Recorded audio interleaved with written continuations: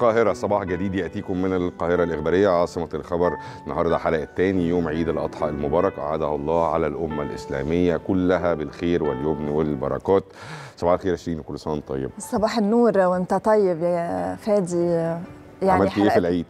في العيد والله كنت في صباح جديد معاكم ومع المشاهدين وبعدين قضينا اليوم مع الصحاب. طب دي حاجة جميلة وامبارح يعني سمعت إن الحلقة كانت جميلة مع جاد وتناولتوا الأكلات في كل الأماكن والطقوس والمراسلين. آه، يعني ماما خصتني بكعك العيد وحبيت آه، يعني نشارك آه، الناس على الهوا باحتفال أول يوم. جميل. خلونا بقى نروح لفقراتنا اللي هتكون معانا النهارده واللي أكيد مش هتبعد عن أجواء العيد في حديقة الأزهر الجميلة في القاهرة وإزاي بيحتفل المصريين بتاني يوم العيد. إيه كمان يا شيرين؟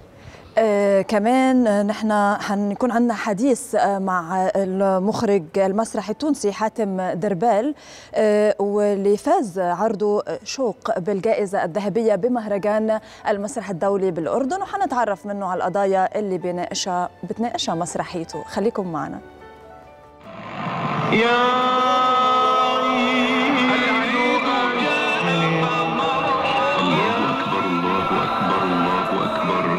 لا إله إلا الله. الله.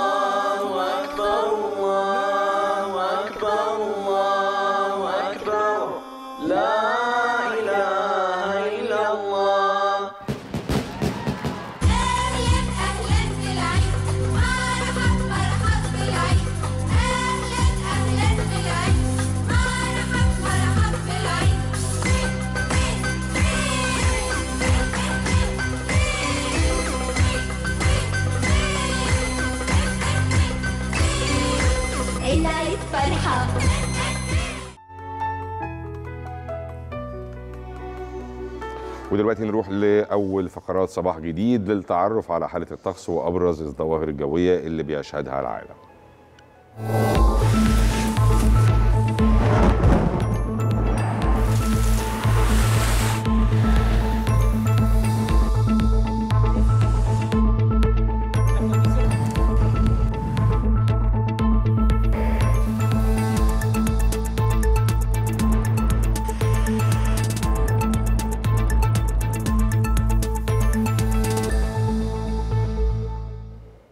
نبدأ فقرتنا الجوية من مصر اللي بتشهد ارتفاع ملحوظ بنسبة الرطوبة بكل أنحاء آه، المنطقة ما أدى إلى الشعور بارتفاع درجات الحرارة وبيتوقع خبراء الأرصاد الجوية يسود طقس معتدل الحرارة بالساعات الأولى من صباح اليوم. حار ورطب نهارا على القاهرة الكبرى والوجه البحري والسواحل الشمالية شديد الحرارة على جنوب سيناء وجنوب البلاد.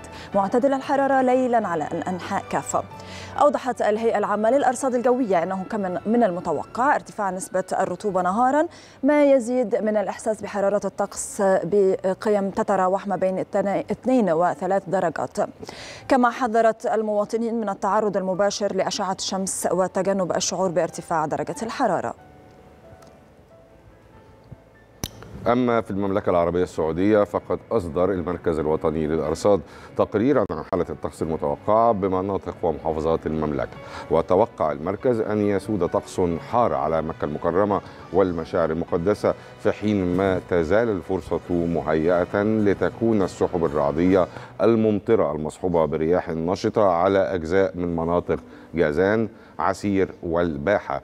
كذلك يستمر تأثير الرياح النشطة المثيرة للأتربة والغبار التي تحد من مدى الرؤية الأفقية على أجزاء من منطقتي الشرقية والرياض.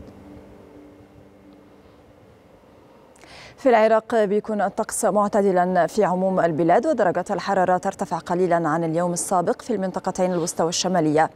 وترتفع بضع درجات عن اليوم السابق في المناطق الجنوبية.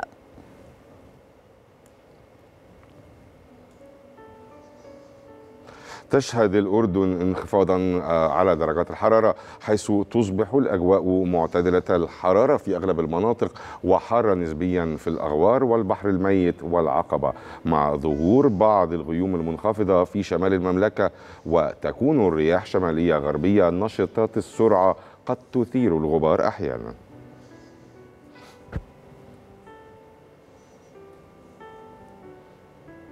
ومنروح لأوروبا اللي بيواجه الإسبان هيدا العام موجة من الطقس شديد الحرارة وبتستمر طول اليوم وأعلنت وكالة الأرصاد الجوية إنه الحرارة بتوصل ل 44 درجة مئوية.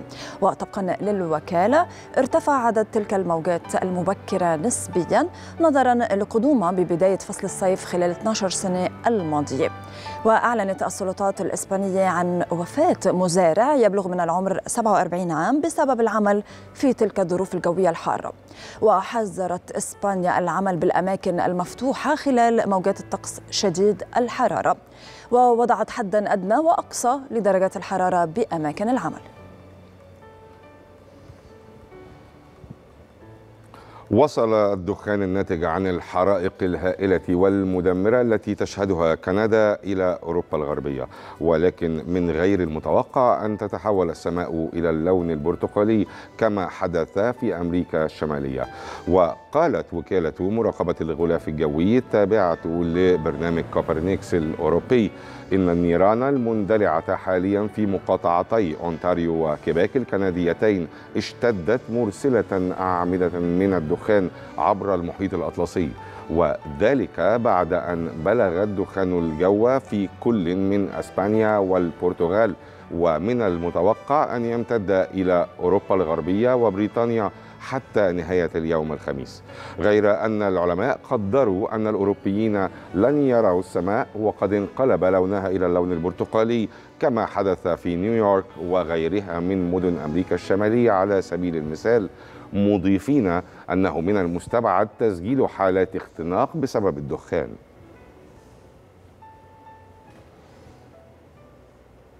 والآن نتابع درجات الحرارة في بعض العواصم العربية والعالمية.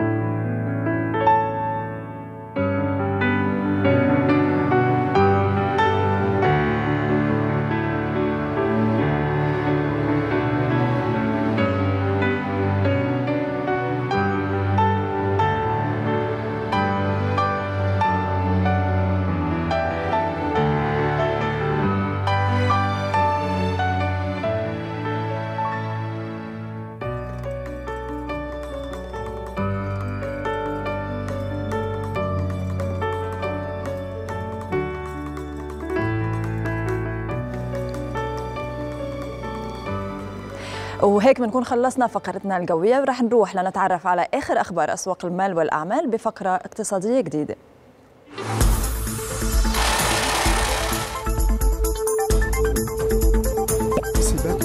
الحكومة تنفي نقص السلع تراجع في غير مسموح ضرب التضخم جميع دول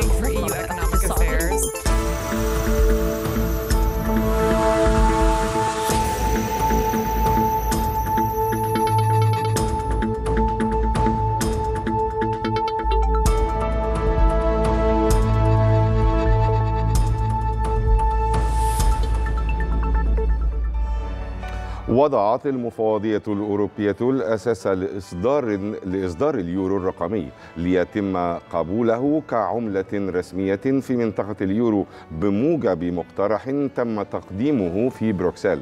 وقال نائب رئيس المفوضية الأوروبية إن اليورو يجب أن يتكيف مع العصر الرقمي في ظل زيادة شيوع المدفوعات غير النقدية بعد جائحة كوفيد 19 ويهدف المقترح إلى تمكين السكان في جميع أنحاء منطقة اليورو من سداد مدفوعات في أي وقت عبر الإنترنت أو من دونه بالمجان على أن يتم إلزام الشركات بقبول العملة الرقمية.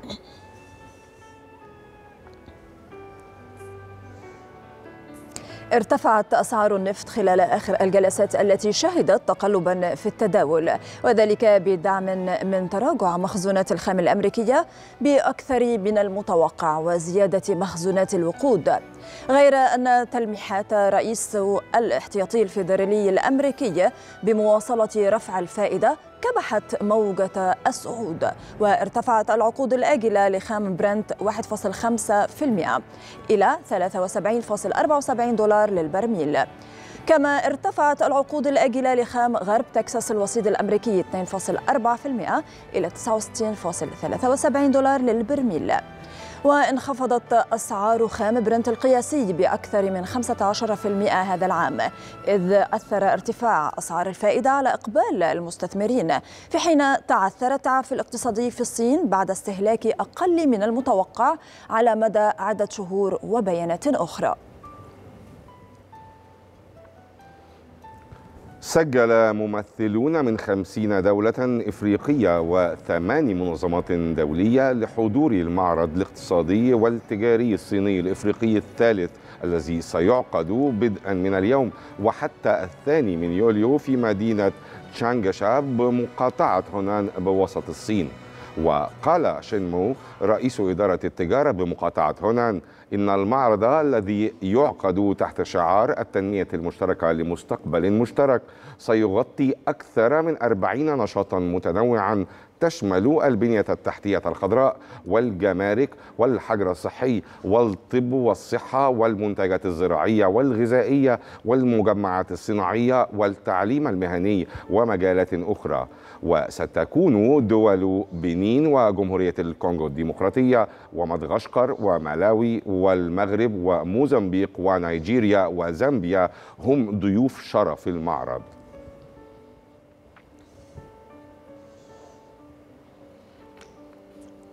ألمح أندرو بايلي محافظ بنك إنجلترا إلى أن أسعار الفائدة قد تظل عند مستويات الذروة لفترة أطول مما يتوقعه التجار حالياً. لطالما كان مهتما بأن السوق تعتقد أن الذروة لن تدوم طويلا في عالم يتم التعامل خلاله مع تضخم مستمر. وفي كلمة له خلال منتدى البنك المركزي الأوروبي حول البنوك المركزية في سنترا بالبرتغال أشار إلى أن الأسواق تقوم بتسعير العديد من زيادات أسعار الفائدة في أعقاب دورة التضييق الأكثر صرامة منذ ثلاثة عقود. تلقت شركة Sound Energy البريطانية عرضا مشروطا من أكبر مصارف المغرب للحصول على تمويل يصل إلى مليارين وثلاثمائة مليون درهم. أو ما يعادل 237 مليون دولار لإنجاز المرحلة الثانية من مشروع إنتاج الغاز الطبيعي في منطقة تندرارا شرق المملكة. وسيخصص هذا التمويل لإنجاز أعمال الحفر وتشغيل الآبار وبناء خط أنابيب لنقل الغاز الطبيعي المرتقب بإنتاجه إلى المشتري وهو المكتب الوطني للكهرباء والماء الصالح للشرب التابع للدولة. وإلى هنا تنتهي فقرتنا الاقتصادية وننتقل الآن لجولة في أهم الأخبار والملفات التي تناولتها الصحف ووكالات الأنباء العربية والعالمية.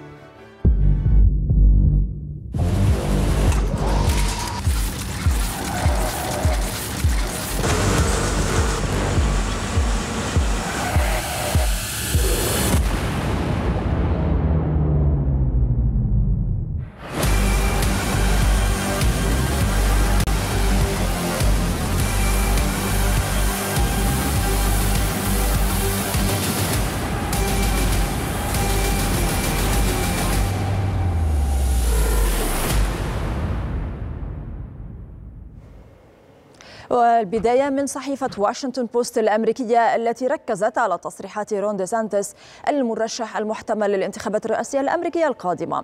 وقالت الصحيفة إن دي سانتس أشار في خطابه الأخير على السعي لإنهاء حق المواطنة عند الولادة لأطفال المهاجرين غير الشرعيين. واحتفظ بطالبي اللجوء في المكسيك أثناء تعليق قضاياهم أمام المحكمة الأمريكية. وتحدث عن إنهاء الجدار الحدودي واستخدام القوة الصارمة ضد بعض الأشخاص الذين يحاولون اختراقه وجلب المخدرات إلى الولايات المتحدة. إلى وكالة سبوتنيك الروسية والتي نقلت تصريح وزير الخارجية الروسي سيرجي لافروف إذ قال إنه كلما ماطل الغرب وأوكرانيا في التسوية السلمية زادت صعوبة الاتفاق وقال لافروف أن أولئك الذين يرفضون التفاوض وهم الغرب وأوكرانيا يجب أن يفهموا أنهم كلما تأخروا في التوصل إلى تسوية سلمية كان التفاوض أكثر صعوبة وأشار إلى أنه لا توجد مقترحات جادة من الغرب لحل الصراع في أوكرانيا. وما زلنا في متابعة الأخبار أخبار الحرب الروسية الأوكرانية والخبر قادم من وكالة آيكي الإيطالية. حيث قالت رئيسة الوزراء الإيطالية جورجيا ميلوني أود أن أكرر إيماني الراسخ بأن الدفاع عن أوكرانيا اليوم يعني الدفاع عن المصلحة الوطنية الإيطالية لأن استسلام كييف سيؤدي إلى انهيار القانون الدولي ونظام التعايش بين الدول الذي ولد مع نهاية الحرب الثانية. وأضافت رئيسة الحكومة في إحاطة أمام مجلس النواب على ضوء انعقاد المجلس الأوروبي المقبل قائلة إن لم نساعد الأوكرانيين كما يقترح أحدهم في هذا المحفل أيضا ربما بسبب المصالح, الدعائية وإذ لم يذهل الأوكرانيون العالم بشجاعتهم فكنا سنجد أنفسنا اليوم في عالم تم فيه استبدال قوة القانون بشريعة الغاب. عالم يمكن فيه لمن هو أقوى عسكريا أن يغزو جاره بحريا. عالم أقل استقرارا وأكثر خطورة. قالت صحيفة الأهرام المصرية أن حدائق الري بالقناطر الخيرية بمحافظة القليوبية المصرية استقبلت الزوار للاحتفال بعيد الأضحى المبارك بين أحضان الطبيعة الخلابة حيث فتحت الحدائق أبوابها أمامهم الساعة السابعة صباحاً. وأصدر الدكتور هاني سويلم وزير الموارد المائية والري المصري توجيهاته بتكثيف أعمال الصيانة والنظافة للمسطحات الخضراء. وشبكات المرافق بكافة الحدائق بالقناطر الخيرية وتطهير الواجهات النيلية أمام الحدائق وتجهيز الجراجات استعدادا للأعياد.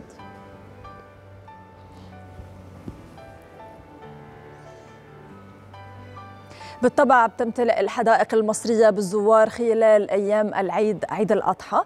وحننتقل مباشرة لحديقة الأزهر بالقاهرة مع مراسلنا أيمن عماد. صباح الخير أيمن وكل عام أنت بخير.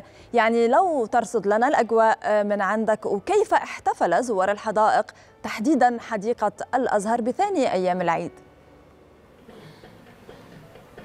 صباح الخير يعني منذ التاسعة من صباح اليوم فتحت الأبواب أمام الزوار الذين اعتادوا على زيارة هذه الحديقة كغيرها من الحدائق العامة والمتنزهات في مصر في العطلات الرسمية وأيضا عطلات الأعياد كعيد الأضحى. وربما منذ قليل شاهدنا في التاسعة يعني حضور كبير من الزوار وانتظار كان أمام البوابات للدخول والاستمتاع بهذه الحديقة التي تعد من أكبر ويعني الحدائق على مستوى العالم على مستوى العالم أو يعني حسب ما تم تصنيفها ربما تأتي من الستة الأوائل على مستوى العالم من حيث المساحات الخضراء الشاسعة التي تتمتع بها بالإضافة إلى المتنزهات الأخرى التي تتعلق بطبعا الترفيه للاطفال الذين يتوافدون مع الأطفال مع ذويهم من وأولياء أمورهم في هذه الحديقة لزيارتها والاستمتاع في الحدائق. ربما في هذه اللحظات يعني يعني كانت النافورة التي نشاهدها عبر الهواء مباشرة ربما يعني تم اشتغل يعني يعني عملت في هذا التوقيت بالإضافة أيضا كما نشاهد عبر الشاشة أيضا الحدائق والمساحات الخضراء التي تتميز بها هذه الحديقة بالإضافة أيضا للتنظيم الأكثر من رائع. ربما في هذا الصباح بدأت الأغاني أو أغاني الأعياد يعني يعني يعني يعني تعلو أصواتها في هذه الحديقة منذ طبعا الساعات الأولى في التاسعة من صباح اليوم. ربما أيضا هذه الحديقة كما نعلم بأنها تم تصنيفها من الستة الأوائل بالإضافة أنها تقام على يعني 80 فدان 80 ألف فدان على في تقع في قلب القاهرة التاريخية. تتميز أيضا بأنها يعني تطل من جميع الاتجاهات على المناطق التاريخية وعلى المآذن التاريخية في مصر. وأيضا يعني كما نعلم بأنها أيضا يوجد بها ربما نشاهد بها أيضا السور الأيوبي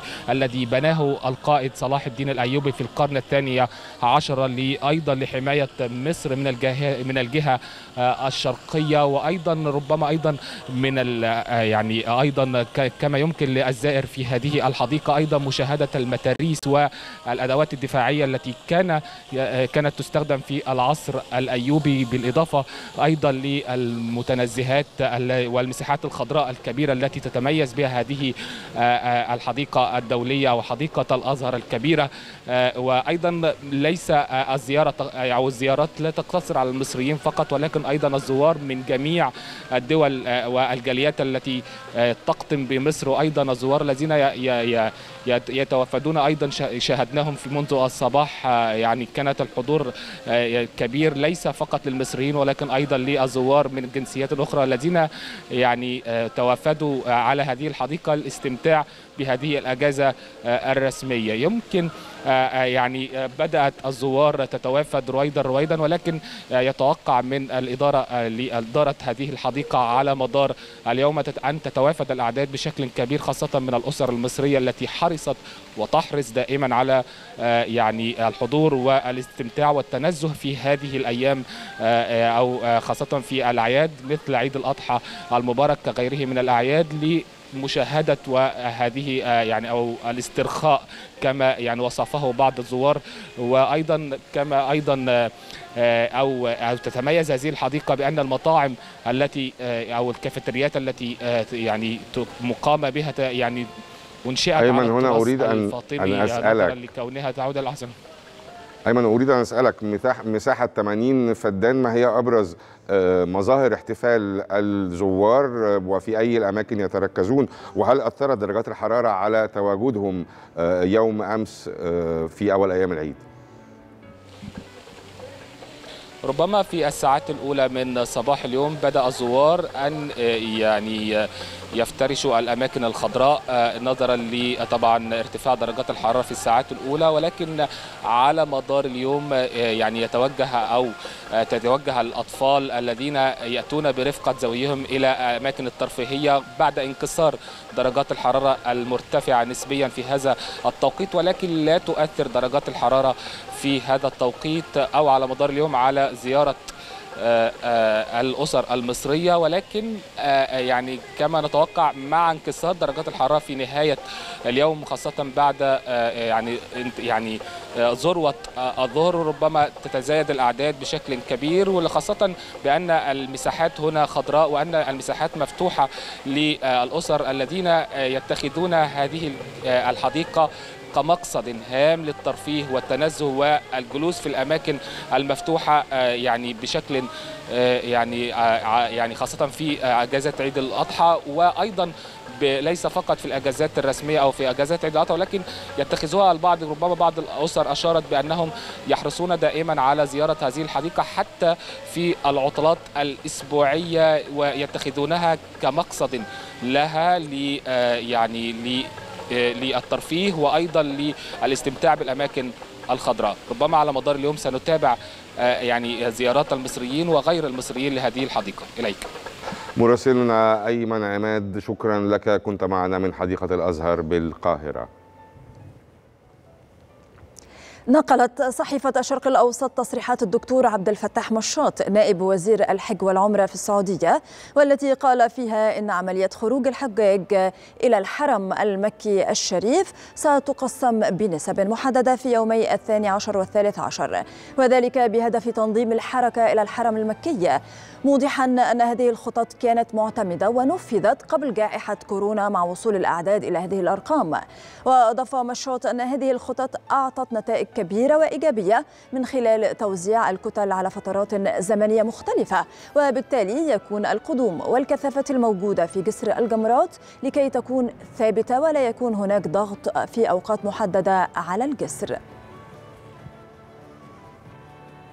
عنونت صحيفة الوطن المصرية سودانيون يحتفلون بعيد الأضحى وسط أشقائهم المصريين وذلك في تقرير يرصد احتفال السودانيين بالعيد في مصر إذ قالت الصحيفة أن الشوارع المصرية تشهد مظاهر فرحة وبهجة بمشاركة الأشقاء السودانيين خلال تأدية صلاة العيد والاحتفالات الميدانية وسط ترحيب كبير بوجودهم في بلدهم مصر. وقال عادل الصول رئيس جمعية الصحفيين السودانيين بمصر للوطن أنه وأسرته أدوا صلاة العيد مع المصريين في الساحات المخصصة وسط تهنئتهم وتوزيع بعض الحلوى عليهم ليتغلغل الشعب السوداني مع الشعب المصري في مشهد يدل على انصهار الشعبين في نسيج واحد لا يفرق بين مصري وسوداني.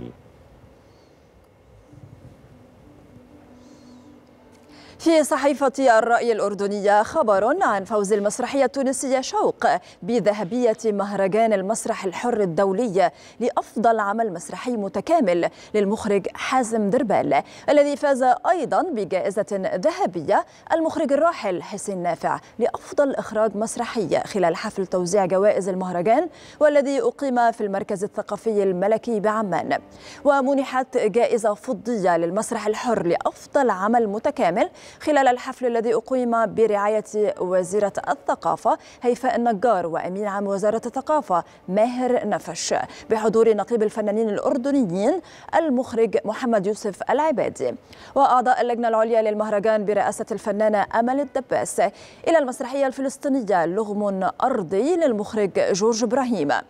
فيما ذهبت جائزة لجنة التحكيم الخاصة لمسرحية النقيب والغريب من السعودية. الحقيقة أن مسرحية شوق للمخرج التونسي حاتم دربال تسلط الضوء على قضية التفكك الأسري ومشاعر الفقدان والشوق بين أفراد العائلة. وللمزيد من التفاصيل ينضم إلينا من العاصمة تونس المخرج حاتم دربال. أهلا بيك كل سنة وأنت طيب. وبعد التحية أستاذ حاتم نهنئك طبعا لفوز المسرحية التونسية شوق بذهبية مهرجان المسرح الحر الدولي. في البداية حدثنا عن الجائزة والتكريم. أهلا وسهلا عيد أضحى مبارك وكل عام وأنتم بخير. آه، سعداء جدا بالحصول على ذهبية آه، مهرجان الحر بالأردن. آه، طبعا هذه فرص جميلة جدا حتى نلتقي بمختلف تجارب المسرحية في العالم العربي. والمهرجانات هذه هي فرصة لتقييم المنجز المسرحي العربي. وفرصة أيضا لتبادل الخبرات والتلاقي والتقابل مع آه، أجيال من المسرحيين ونقاد ويعني باحثين. فسعداء جدا بهذا التكرير يعني المسرحية التونسية شوق آه، هل هي فعلا مقتبسة من نص أصلي للكاتب الفرنسي المعاصر جان لوك لاغراس؟ وما أضيف إليها؟ نعم. آه، بالنسبة لنص المسرحية الفكرة هي اقتبست أو الفكرة المركزية من خلال النص ال- ال- ال- الفرنسي لكن هي كتابة آه، جماعية هي مراوحة بين ال- ال- المنصة مع الممثلين والطاولة فكان في شكل ورشة يعني ورشة بحث وورشة عمل. وجاءت هذه المسرحية بعد ما آه، عشناه من ظروف في كورونا تحديدا وأيضا فقدنا آه، بعض الأعزاء والأحباء فهو شوق لكل من غادرونا من العائلة البيولوجية ولكن أيضا من العائلة الفنية. فالموضوعان أو الموضوعين الأساسيين للمسرحية هما العائلة والموت. أحداث المسرحية هو تبدأ برجوع الابن الأكبر لمنزل العائلة بعد غياب طويل حتى يعلمهم بمرضه وقرب آه، موعد آه، وفاته بحسب الأطباء لكن مع الأسف آه، لن يستطيع آه، إبلاغهم هذه المعلومات المهمة آه، لأنه ستطفو على سطح الأحداث آه، يعني سيلقي الماضي بظلاله ومن أزمة لأزمة حول مسألة التواصل الأسري والتفكك فهذا الرجوع هو رجوع آه، كاتب وهو كاتب مسرحي حتى يعلن وفاته وهو أيضا آم، يعني آه، آه، موت الكاتب المسرحي أو قرب موت الكاتب المسرحي تقريبا. هذه خرافة المسرحية آه، وجاءت في ظل هل عشناه السنتين الأخيرتين. البعض يقول أن مسرحية شوق هذا العمل المسرحي الذي يركز على فكرة الفقدان هو مستوحى من تجربة ذاتية لك. ما مدى صحة ذلك؟ هل تحدثنا عن الموضوع؟ نعم آه، بعد مرضي في فترة الكورونا ودخولي المستشفى فالمسرحية استفادت جدا. من آه، هذه الأصوات والصور اللي عشتها في العناية المركزة وفي المستشفى فهناك العديد من الجوانب الذاتية للقيام بهذه المغامرة.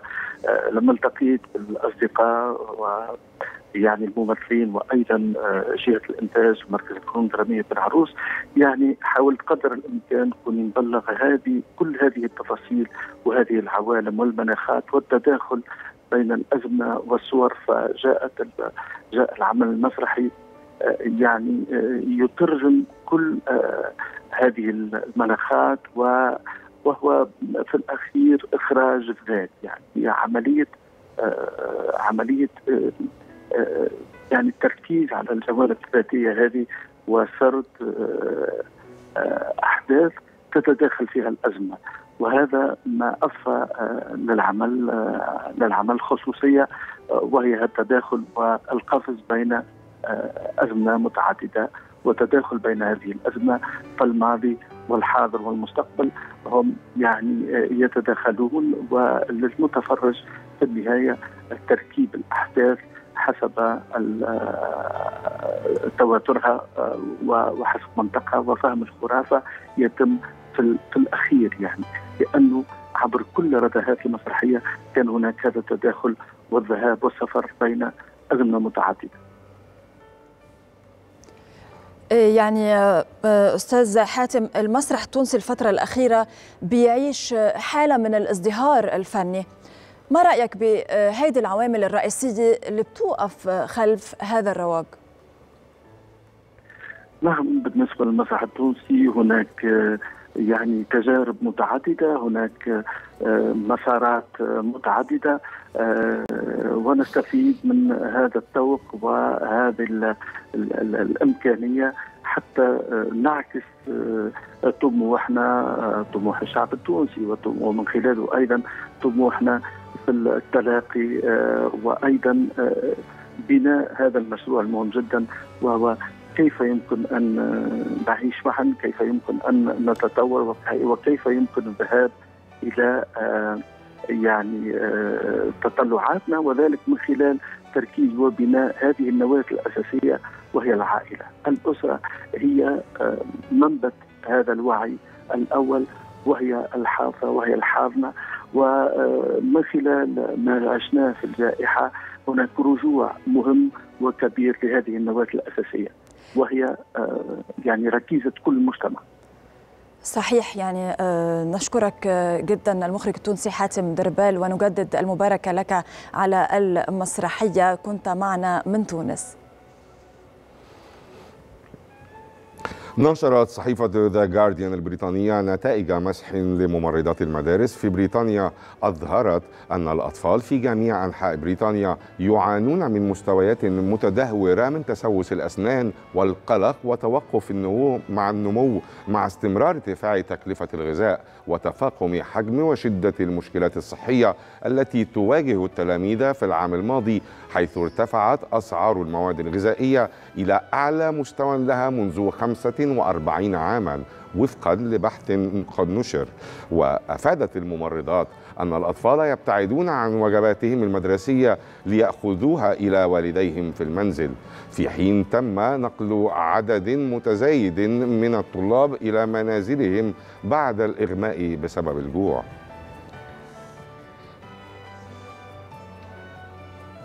قالت وكالة أسوشيتد بريس الأمريكية إن شركة جنرال موتورز والشركة الأم لشركة بي واي دي الصينية توجهتا مباشرة إلى مصادر تصنيع بطاريات السيارات الكهربائية واشترت حصصا في مناجم الليثيوم وهي خطوة نادرة في صناعة تعتمد على البائعين الخارجين للنحاس والمواد الخام الأخرى إذ يستثمر آخرون في تكرير الليثيوم أو مشاريع لإعادة تدوير المعدن الأبيض الفضي من البطاريات المستعملة.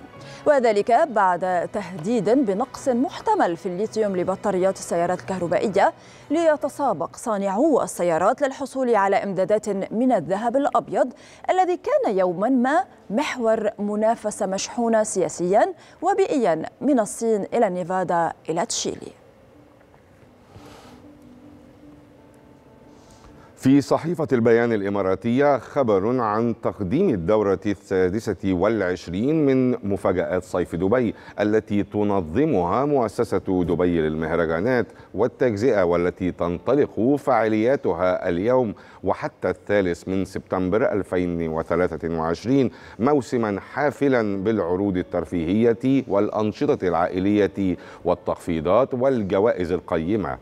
ويتزامن انطلاق مفاجآت صيف دبي هذا العام مع احتفالات عيد الأضحى ما يعزز من الأجواء الاحتفالية حيث يمكن لسكان المدينة وزوارها الاستمتاع بتجارب تناول المأكولات والمشروبات وحضور العروض الترفيهية الحية والاستفادة من التخفيضات الهائلة مع فرص الفوز بجوائز قيمة فضلا عن عروض الفنادق.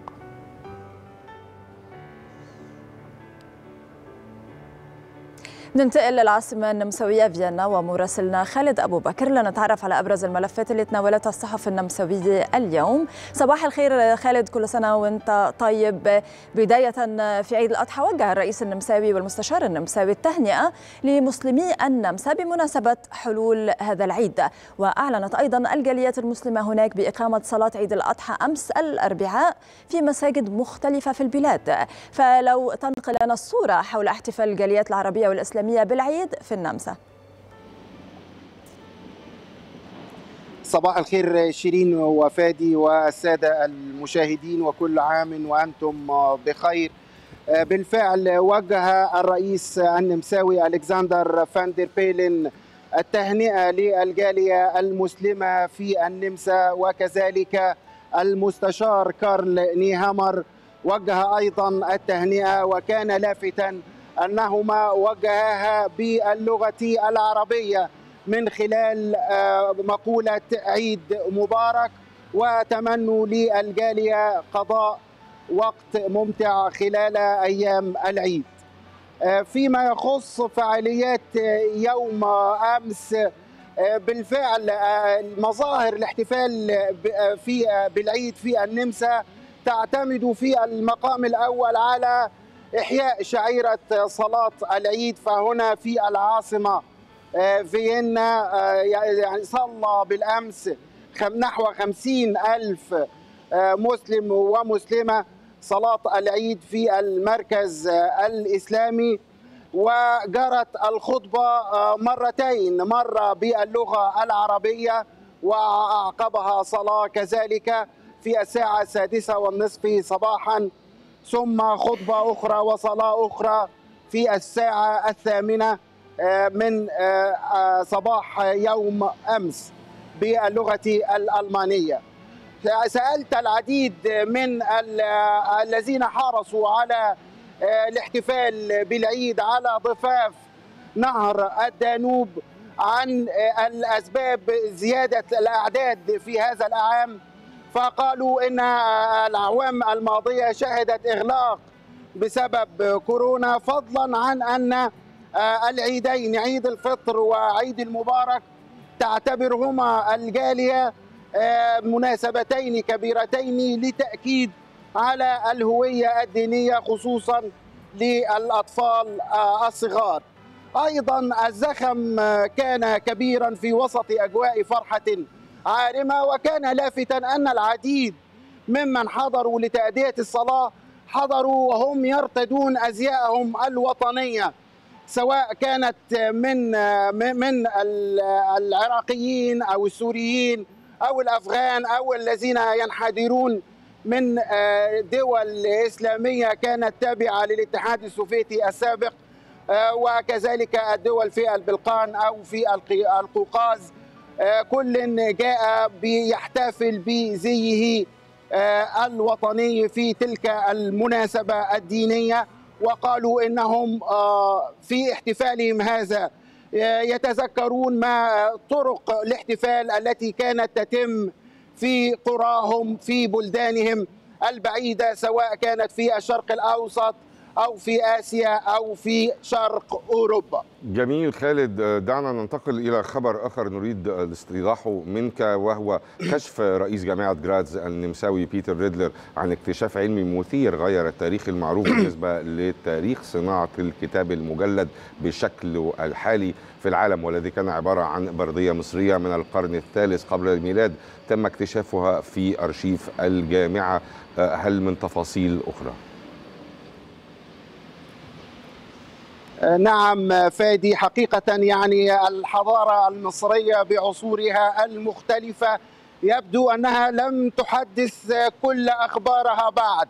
فجاء ذلك الكشف الذي غير تاريخ صناعة الكتاب في العالم كله بمحض الصدفة. جامعة جراتس تضم من بين مقتنياتها 52 بردية. تعود إلى القرن الثالث قبل الميلاد.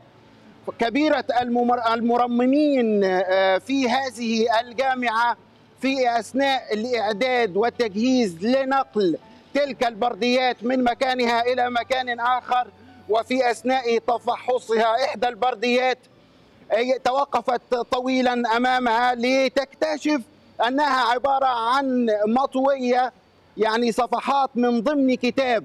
الكتاب بشكله الحالي الذي يحوي عدد كبير من الصفحات والذي تستخدم الخيوط أحيانا في تجليده يؤرخ له عالميا بأنه كان سنة 1250 ميلادية. لكن عندما اكتشفت كبيرة المر- المرممين وجود هذه وجود هذه الخيوط فتاكدت من أن تلك البردية كانت جزءا من كتاب. وتعود يعود تاريخ البردية إلى سنة 1250 قبل الميلاد وهي عبارة عن وثيقة للضرائب وثيقة حكومية وقتها في العصر البطلمي للضرائب على الزيت والذرة. وهو الاكتشاف الذي أجرت له جامعة جراتس مؤتمرا صحفيا ضخما حظي بتغطية واسعة خصوصا من المراسلين الأجانب الموجودين آه، هنا في فيينا من كل أنحاء العالم لأنه بالفعل اكتشاف قلب تماما تاريخ صناعة الكتاب في العالم كله حيث آه، أن أحدث أقدم نسخة كانت قبل ذلك الاكتشاف موجودة في المكتبة البريطانية وتعود إلى 1250 ميلادية. شكرا جزيلا خالد أبو بكر مراسل القاهرة الإخبارية من فيينا.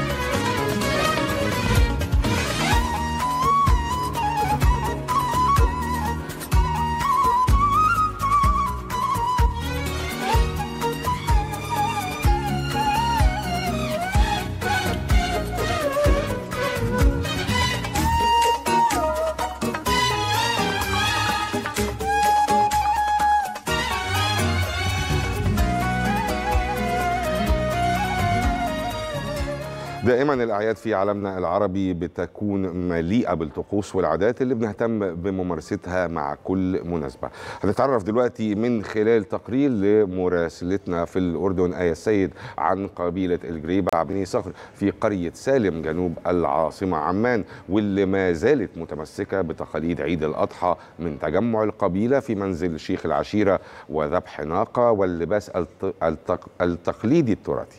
بالحقيقة حاجة حلوة قوي أنه ن- القبائل دي تبقى محافظة على هذه التقاليد وإلى جانب هذا تهتم القبيلة خلال العيد بتقديم القهوة العربية للضيوف والأقارب. وطبعا هي فرصة للتجمعات العائلية المبهجة وبيتم فيها تناول وجبة إفطار جماعية تتسم بتقديم مائدة من اللحوم الأضحية.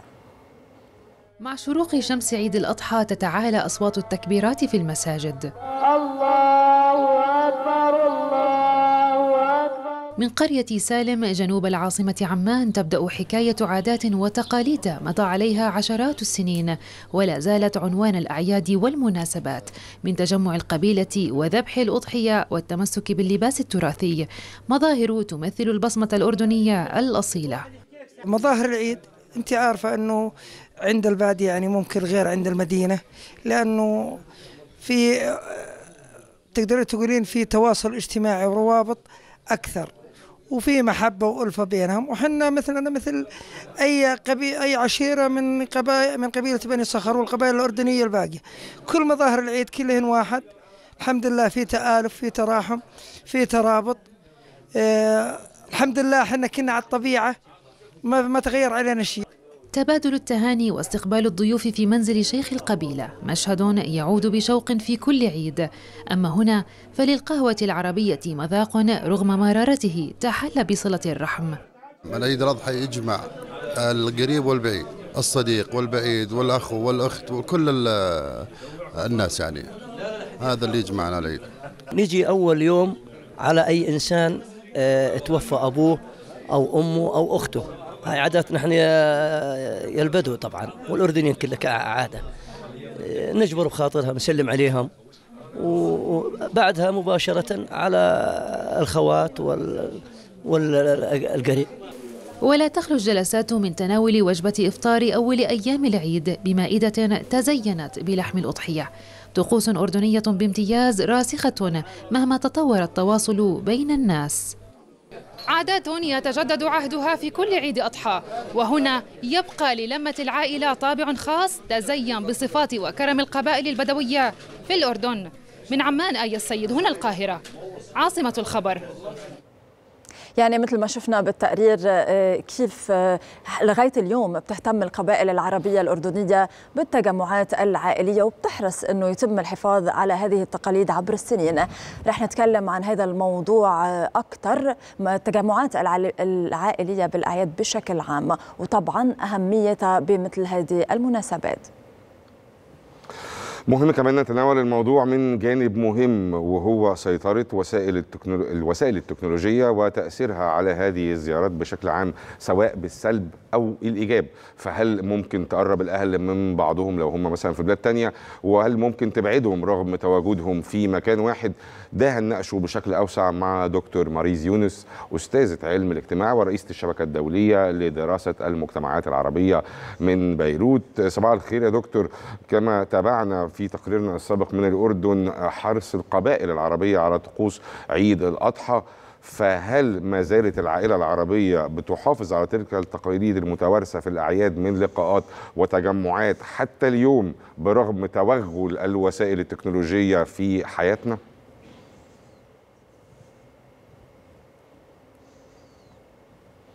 نعم صباح الخير وتنادى عليكم جميعا يعني إذا أردنا المقارنة بين الأوقات العادية وما أحدثته التقنية الرقمية وتحولات الحداثة على مستوى التواصل الاجتماعي وخرق وكسر وتحويل بعض العادات والقيم بالمجتمعات العربية إلا أننا لازلنا بفترة الأعياد نشهد تمسكا بإحياء الطقوس وبل إعادة إحياء قيم العيد وقيم التواصل وال والاجتماعات واللقاءات وهنا نعتقد أنها ترتبط بقدسية هذه المناسبات و وبالمقدس والديني الذي تحمله مناسبات الأعياد تحديدا. فنعم نقول أن هذه المجتمعات لا زالت متمسكة بالتواصل واللقاءات وإحياء مناسبة العيد وإعادة إحيائها بل توظيفها لاستمرار التواصل بين الأسر والعائلات بل أيضا بين المجتمع الأكبر. وأيضا تختلف يعني في عندنا اختلافات وتفاوت حسب التقرير اللي عرضتوه هلا. بالنسبة لكيف يعني يعني تتفاوت بين مجتمع وآخر وبين قبيلة وأخرى تبعا للتنظيمات التي تشهدها هذه المجتمعات. يعني بالمدينة بنشوف إنه الحرص على إحياء هذه العادات والقيم ليس كما القبيلة المنظمة اجتماعيا لإعادة إحياء التواصل و و و وتكريس صحيح دكتور ماريز يعني زي ما ذكرتي أنه المحافظة في القرية أكثر من المدينة على هذه التقاليد والعادات يعني قديش مهم فرص اللقاءات العائلية مجتمعيا وقديه تغيرت؟ يعني نحن عنا ثروة إذا بدنا نقول بكل ما شهدته المجتمعات العربية والمجتمعات عالميا من آثار والحداثة إلا أن الإيجابية اللي بتمتلكها المجتمعات العربية والثروة اللي بعتقد إنه نحن بنمتلكها إنه لازلنا نحتفظ ونقاوم الفردانية التي أحدثتها الحداثة والتي يعاني منها الغرب اليوم ورغم كل التباهي والفخر بالتطور الغربي والحداثة إلا أن يحترمون جدا قيم التواصل بل أيضا هناك تيارات اليوم تنشأ بالعالم الغربي للدعوة إلى التمسك بالأسرة والتواصل و ويعني من أجل الحفاظ على وظيفة الأسرة والاستمرار صحيح دكتور يعني نتمنى الدول العربية تحافظ على هذه الميزة. ودكتور ماريز يونس أستاذة علم الاجتماع ورئيسة الشبكة الدولية لدراسة المجتمعات العربية أشكرك شكرا جزيلا كنت معنا من بيروت. ودي بقى نهايه حلقه تاني يوم العيد كل سنة وأنتم طيبة يا شيرين. وكل سنة وكل مشاهدينا طيبين. بكرة نشوفكم في حلقة جديدة من حلقات عيد الأضحى المبارك. على صباح جديد على القاهرة الإخبارية عاصمة الخبر.